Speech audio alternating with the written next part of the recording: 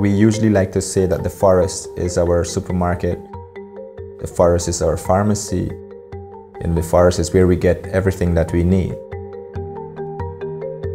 Every minute around the world, an area of forest which would cover the size of 30 football fields is being destroyed.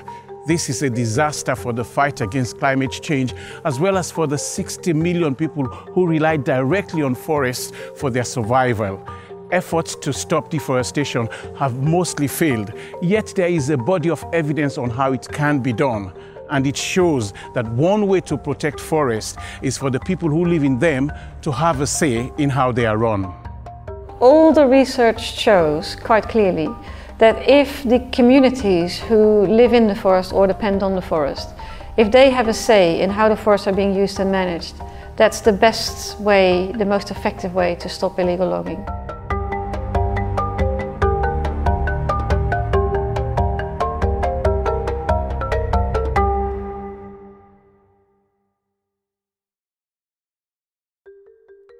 In 2003, the European Union started a scheme which puts forest governance at its heart. The language around it is complex, but the concept is simple. Countries with strong laws to stop illegal logging and protect the rights of forest people would get preferential access to the EU market.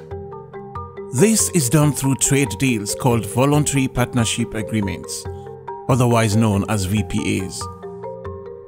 Many across the developing world say that the scheme has led to historic changes in the way their forests are being managed. Forest laws are being strengthened, and for the first time, local communities are being given a voice in shaping their country's forest policies.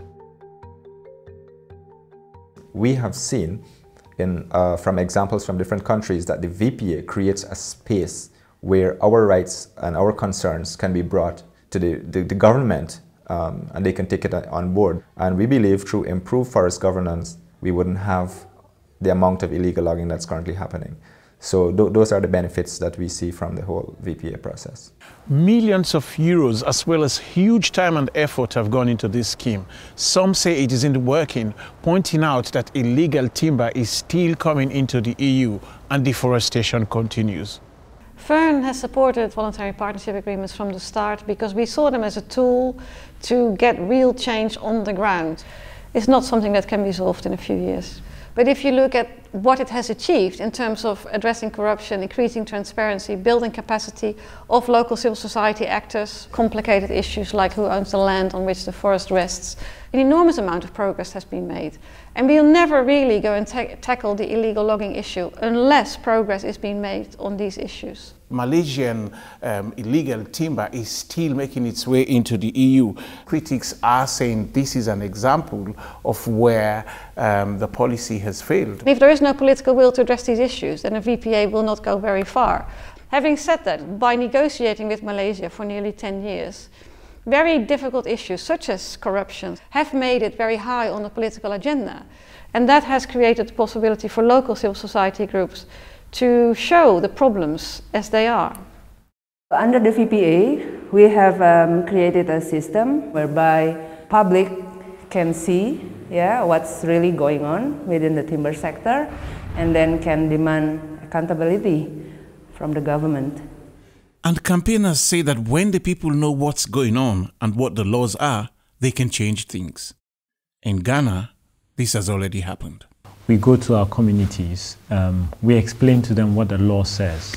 They immediately go to the timber company and say, the law says you are supposed to give us a social agreement or sign a social agreement with us. Until you do that, we're going to seize your operations or we're going to stop your operations. Now, because of the leverage that the trade agreement gives them, communities are being empowered. In Liberia, these agreements are clarifying existing laws, so campaigners say they can challenge them when they are unjust.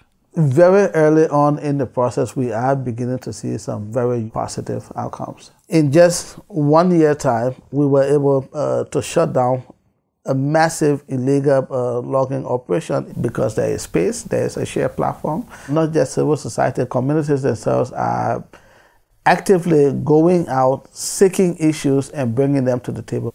And I will always tell people is that the people should give a community people the chance. Because most of our people, especially learned people, uh, class people, always feel that a common man in the interior or in the community know nothing. He cannot make decision for himself. Good forest governance means that when communities speak, governments have to listen.